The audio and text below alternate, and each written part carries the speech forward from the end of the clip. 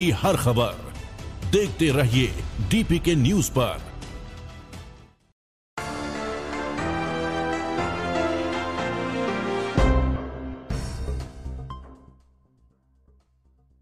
नमस्कार, खबर गाँव शहर बुलेटिन में आप सभी का बहुत बहुत स्वागत है। मैं आपके साथ हर्ष चौधरी। और आइए बुलेटिन देखते हैं खबर गाँव से लेकर शहर तक की हर एक बड़ी खबर फटाफट अंदाज में।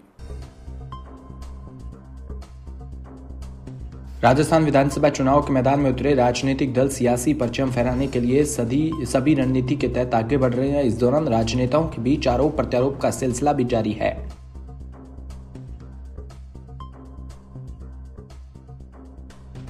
गजेंद्र सिंह शेखावत ने अशोक गहलोत पर निशाना साधा। उन्होंने कहा कि तीन दिसंबर को चुनाव परिणाम आने के साथ ही उनके पास कोई काम नहीं रहेगा। राजस्थान की जनता उनको इस पद से अपदस्थ करेगी।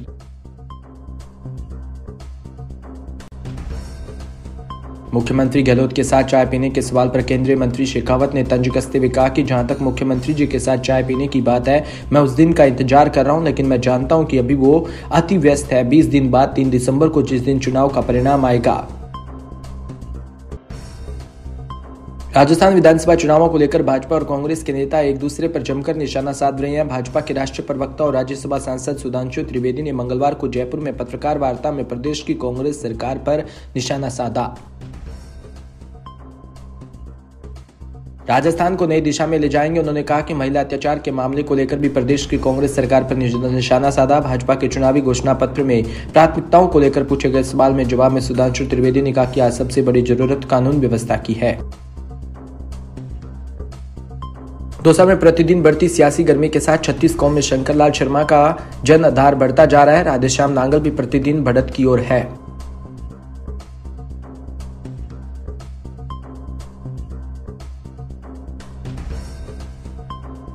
शंकर शर्मा के पक्ष में छत्तीस कौम के लोग अब एकजुट होकर समर्थन देने लगे। शंकर शर्मा का दीपावली पर दो दिन दौसा शहर में जनसंपर्क का कार्यक्रम रहा।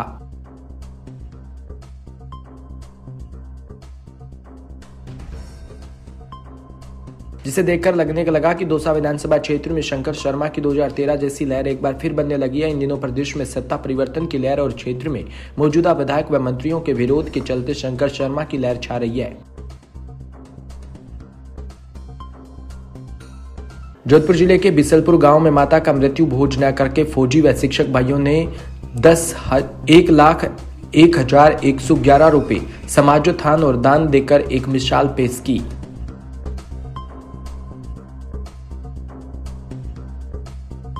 उनके पुत्र खेताराम व दिनेश कुमार ने मिलकर अपनी माता का मृत्यु भोज न करने का फैसला लिया और समाजोत्थान व शिक्षा के लिए समाज के लिए राशि दान देने का निर्णय लिया।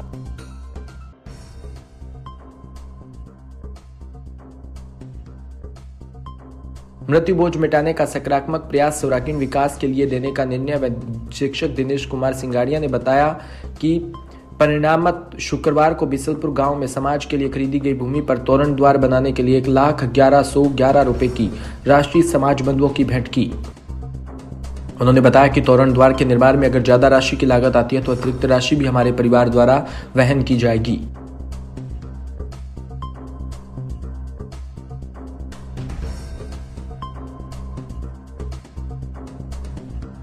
आदर्श नगर विधानसभा क्षेत्र के वार्ड नंबर इक्यासी में आम आदमी पार्टी के विधायक प्रत्याशी हाजी उमरदराज ने कार्यालय का उद्घाटन किया।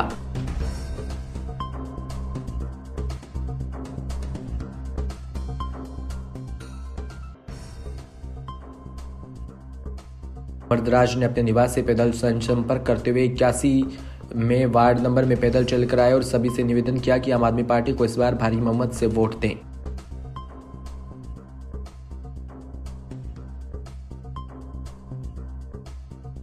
वही उमरदराज ने कहा कि पिछले 25 सालों में आपकी सेवा कर रहा हूँ, आप सभी के पास झोली फैलाकर आप सभी से वोट मांगने आया हूँ।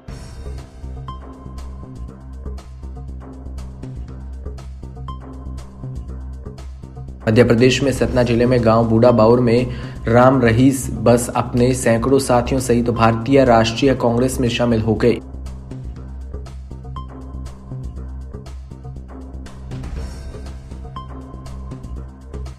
वही राम रईस ने बीजेपी में 18 सालों के भ्रष्टाचार व जन विरोधी नीतियों को लेकर जमकर भाजपा पर निशाना साधा। उन्होंने कहा कि अब कांग्रेस के प्रत्याशी राजेंद्र कुमार सिंह के साथ रहकर कांग्रेस को जीतने का प्रयास करूँगा।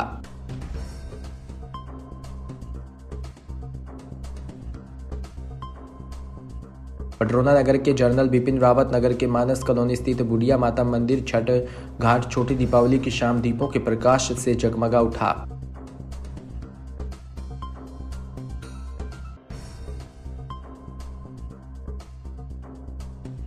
इस मौके पर उन्होंने बताया कि उत्तर प्रदेश के मुख्यमंत्री योगी आदित्यनाथ के अयोध्या दीपोत्सव कार्यक्रम से प्रेरणा लेकर उन्होंने पडरोना नगर में आयोजित कार्यक्रम का सौपन देखा था।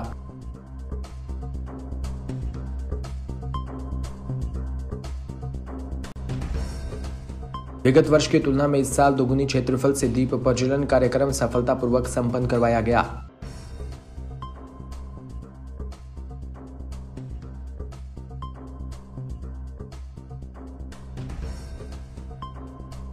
सूरतगढ़ विधानसभा चुनाव में जननायक जनता पार्टी प्रत्याशी व पूर्व प्रमुख पृथ्वीराज मील का क्षेत्र में जनसंपर्क जारी है। जनता से रूबरू होकर पृथ्वीराज मील वोट की अपील कर रही हैं।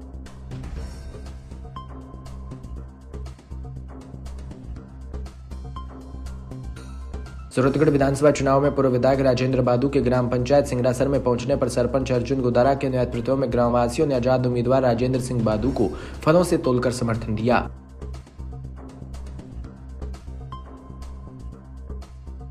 बादू ने कांग्रेस व भाजपा पर निशाना साधते हुए कहा कि जातिवाद की राजनीति व भूमाफियाओं के गठजोड़ का अंत करने के लिए व्यवस्था परिवर्तन के लिए वोट करें।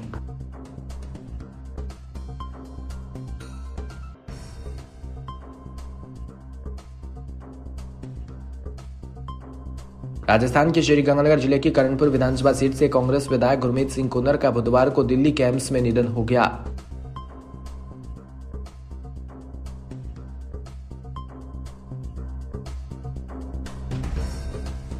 गुरमीत सिंह कुंदर को स्वास्थ्य खराब के चलते एम्स में भर्ती करवाया था। विधायक के निधन के बाद राजस्थान की राजनीति में चुनाव से पहले एक बड़ी हलचल मानी जा रही है। अब राजस्थान में चुनाव एक सौ निन्यानवे सीटों पर होंगे। आपको बता दें, करणपुर के विधायक गुरमीत सिंह कुंदर पिछले काफ़ी समय से बीमार चल रहे थे। बुधवार सुबह उन्होंने दिल्ली के एम्स में अंतिम सांस ली। विधायक के पुत्र रूबी कुंदर उनके पार्थिव शरीर को लेकर पैतृक गाँव 25 बीबी पहुँचेंगे। गुरुवार को उनका अंतिम संस्कार किया जाएगा। राजस्थान में विधानसभा चुनाव के मैदान में पार्टी से बगावत कर चुनावी थाल ठोक रहे प्रत्याशियों के खिलाफ राजनीतिक दलों की ओर से कार्रवाई जारी है।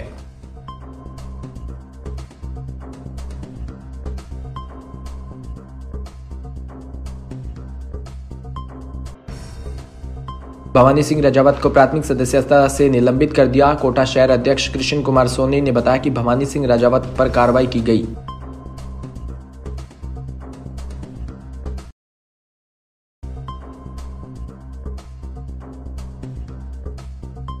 अब वो भाजपा के सदस्य नहीं रहे, उन्होंने बताया कि बागियों को कड़ा संदेश देने के लिए प्रदेश नेतृत्व के निर्देश पर यह कार्रवाई हुई।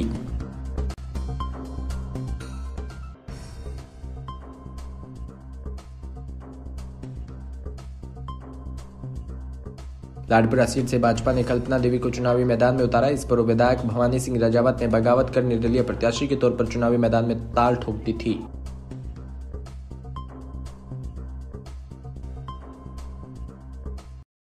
फ़िलहाल इस बुलेटिन में इतना ही और तमाम खबरों के लिए आप जुड़े रहिए हमारे साथ। नमस्कार।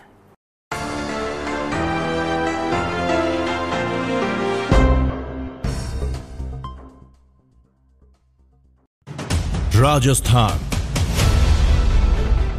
समृद्ध विरासत है इसकी शान।